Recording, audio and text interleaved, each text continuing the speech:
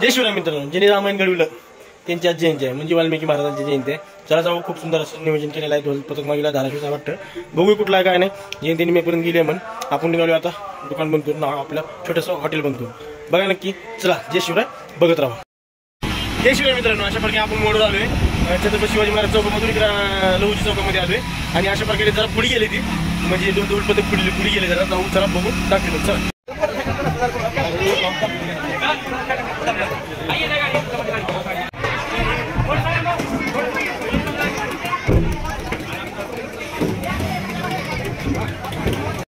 जय शिवराय मित्रांनो खूप सुंदर असं नियोजन चालू आहे थोडा वेळ चालू आहे आणि बघा ही आपली जी आहे ना, ही कोल्हापूरला पण आहे. कोल्हापूर आहे. बघा मुन्ना बाई एमबीबीएस